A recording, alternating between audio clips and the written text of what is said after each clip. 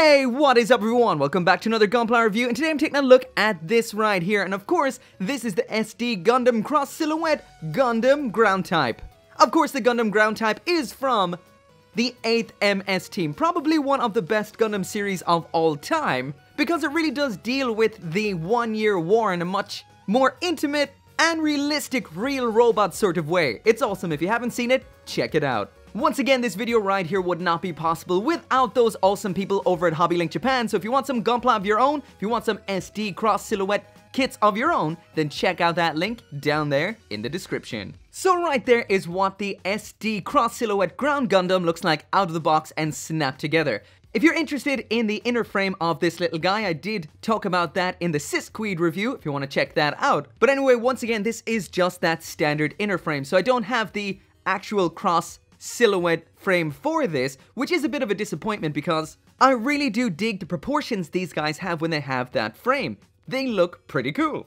However, you guys did mention in the last video, the Sisquiede video, that this right here, which is the frame that came with the RX-0 Maru, this is actually a cross silhouette frame. Sure, it's not the right color, the one you actually use for this kit right here is in white, but this will give us an idea of what it will be like, so towards the end of the review, I will throw this into him, just so we can see what to expect with the cross silhouette frame.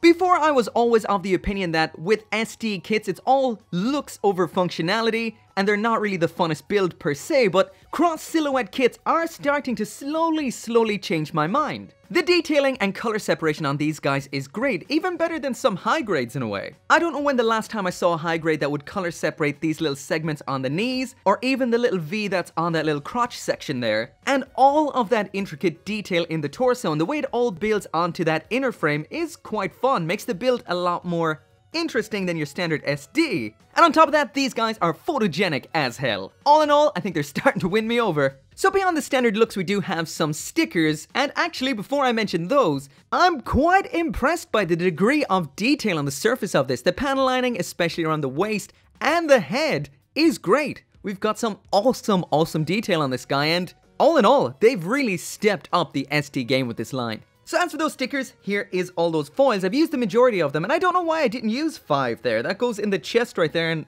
hmm, I don't know. But usually I just use the shiny style ones. Preferably, I prefer to fill that in with a panel liner or something, so as for the stickers, number one right here, of course, is for those chibi cute eyes. Three and four, of course, are for on the head cameras. That's this one on the front, and this one around here on the back. And as for the last one there, number two, that is actually for the alternate set of eyes. So as is usual with an SD, you can pop off the head, pop this part off, flip it around, and then you've got a more realistic, classic Gundam look to it. The eyes are green, just like the ground Gundam. And this little guy goes from cute to badass straight away. So there he is with some classic Gundams. Believe it or not, as much as I love 8th MS Team and as much as I love the concept of the Ground Gundam, with its awesome real robot vibe, I don't actually have a high grade, master grade, or anything like that of the Ground Gundam. Shame on me. That's just an excuse to go shopping. As well as the foils, we've also got some sticker style decals. These are just numbers for, of course, numbering your unit, what MS team that it is, as well as the unit number. So I just went with what was on the instructions. So this one is labeled Unit 081, which of course is Shiro's ground Gundam. This is the one that does get damaged and eventually becomes the EZ-8. And I also used the larger one,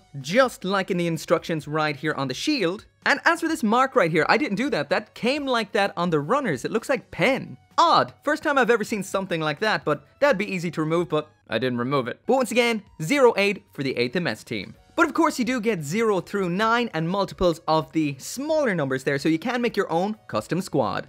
Anyway, onto the accessories, and we've got the ground Gundam itself, three different weapons, the backpack, and the shield. As well as that, we also have this right here, and this is an alternate waist section or crotch section for using with the cross silhouette frame. That is one of these guys right here, but of course you'd want one in white. Looking through the weapons first, and in standard SD Gundam fashion, these are quite plain. So this right here is the beam rifle. The front section of this does move side to side, so that is a nice little feature. It is worth noting we didn't get a foil seal for sticking on the sight there, so this is what it will look like unless you paint it. Next up then is the classic 100mm machine gun. Once again, this is quite plain, has a lot of hollow parts, And unlike the beam rifle, this does not have any moving parts whatsoever. So this little handle here is just molded on, that is all. Next up then we have the 180mm cannon, and this is quite big when it comes to SD weapons, that is. This does have a whole lot more going on than the other weapons we just saw. This little handle here is connected via a ball joint, so that does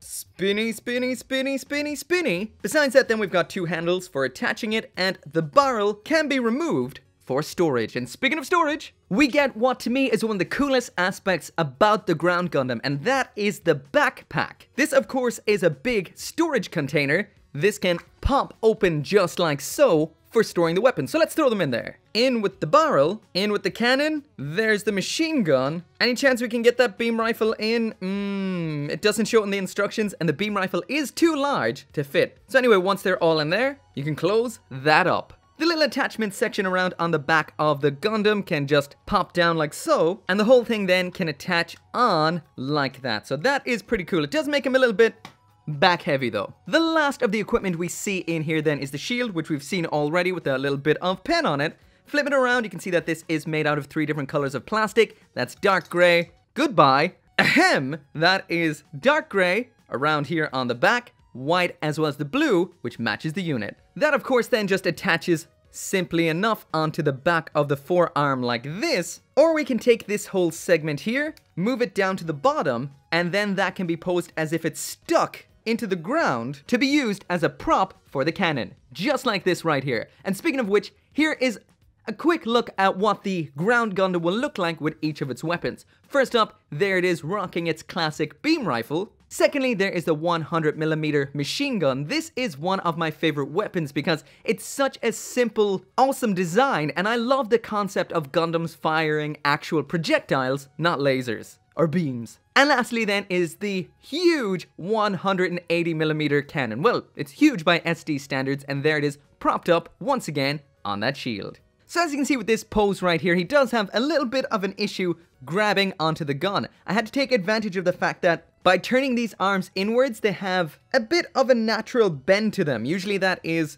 towards the front like so, so you need to bend that in on both in order to hold both handles. So speaking of which, let's move straight into the articulation. So as usual, we're going to be working from the head down. So the head on these cross silhouette guys is a ball joint, so there we've up, down, left and right that can't necessarily go all the way around. We also have a bit of a hinge inside of the neck. Pop that off so you can see that, so that means it can go up and down like this, but of course it can't go back too far, blocked by these. Simple ball joint in the shoulder. We've got a ball and socket in here which allows the arm to raise up like so, move down like that, also giving us full rotation. And then we have a standard ball joint inside the wrist. That's all, no bend at the elbow. At the waist, all we have is rotation. That can go all the way around. And before I forget it, just like we saw before, this little section can drop down on the back, close up like so. Ball and socket at the hip, this pops out all of the time. That can rotate. The ankle armor here is also on a ball joint, so we got a bit of side to side pivot, and that can be moved up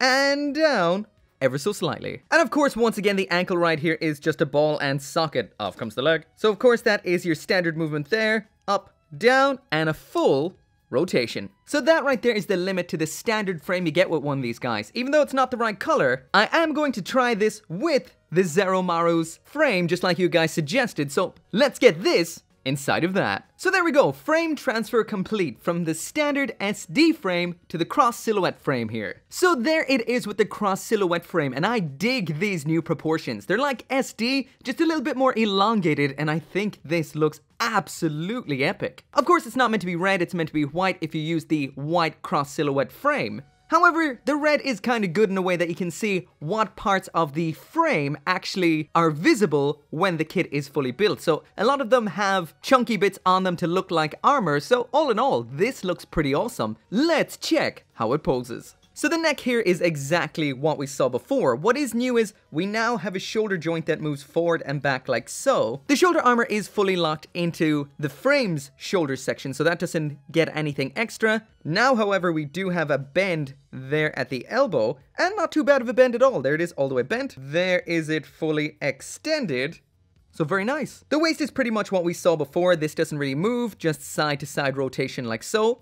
That goes all the way around. Once we get down to the legs, there's a lot more going on. Inside the waist unit here, we do have this joint right here. which did come with this particular kit, so that allows the legs to rock out like so, so you can actually get this into a cute sitting position. The hip joints themselves are a standard ball and socket this time around, pointing the way you want them to point, not just directly down like we saw before. So that does allow for a kick up to the front. Of course, dropping that out gets you a better kick, as you can see. A kick out to the back, once again, bring that down for a more extended kick. As with the splits, we don't get the full splits, but they do kick out quite a bit. So that's not so bad. This frame adds upper thigh rotation, so there it is all the way around. We now have a bend at the knee, there it goes. Not bad, not great, but definitely not bad. And the ankle down here is exactly the same ball joint that we saw before. So all in all, adding that frame does change the game entirely when it comes to articulation. It doesn't make it fantastic, but it does make it a whole lot better.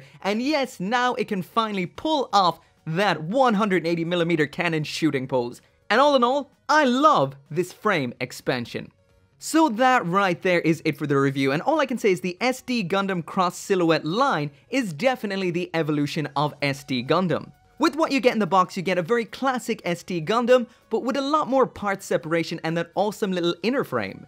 All the parts snap on really easily, they come off really easily, so converting it from SD to CS is quite easy. However, for me, I do feel that the cross silhouette frame is almost compulsory. This new variant, this new style of slightly extended SD is fantastic. It looks great, has the cuteness of SD, but gives it that extra bit of articulation, and I think this style the general look is so much better, but then again, that is a personal thing.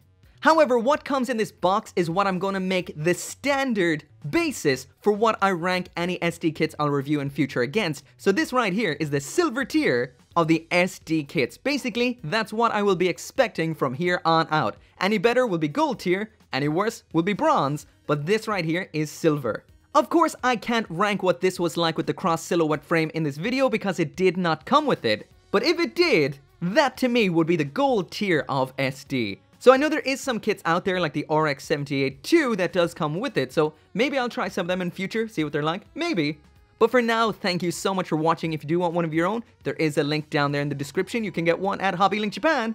Make sure to come back for more Gunpla reviews, and as always, I'll see you next time.